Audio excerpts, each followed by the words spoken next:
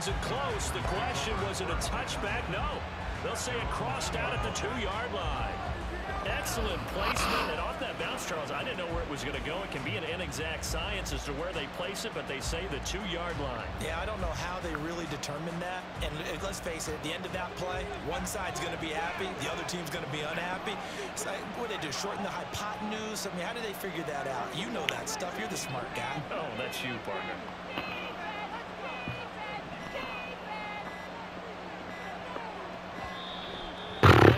Down to zero. And this is not the way to start. First and 11. It's weird. They're inching closer and closer to the wrong goal line. When you're backed up like that, all you're trying to do is make sure you don't give up a big play, right? You don't miss an assignment that really gets you into more trouble.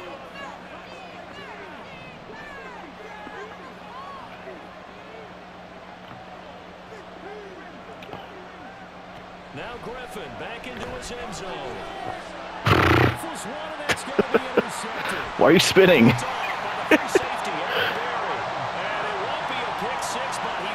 you definitely did.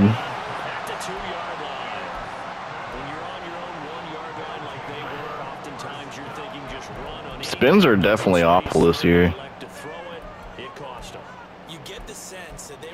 Like literally, like if you're not um, it's either you do that Juco was talking about with the L2, or you're just using the left stick and juke people out. Jackson will take this into the end zone for a Cowboy touchdown. We talk so often about how hard leads to a fourth quarter touchdown and a two-score lead. And what's more important is being able to take advantage when a turnover presents itself. You've got to come up with points to make the other guy pay. They're able to do so here, and they've got a pretty good chance now of winning this football game. And he is into the end zone. That one guy really wants to bait me on those RPOs.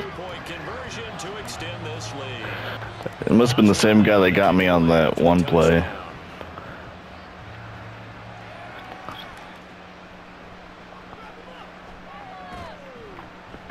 And a nice return sets him up pretty good here right at the 30-yard line. The Packer offense ready to get their next drive underway. They are looking to make a bit of a 180. They are sputtering right now. And he's going to be intercepted a third time.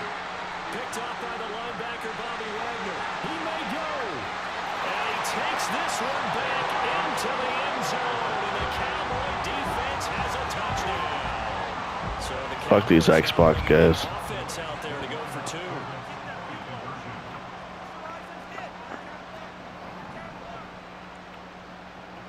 After the interception, here's Griffin. And this is going to be caught. So add two more to the lead as they continue to pull here in the fourth. I wasn't sure if that was going to work. That was more just like a... I knew the guy was going to bait down on the the one guy. Just a matter of that receiver could... yeah. I played a game last night where we blew someone out like 47 to 27, and then I ended up with like 60 something caught, uh, competitive points.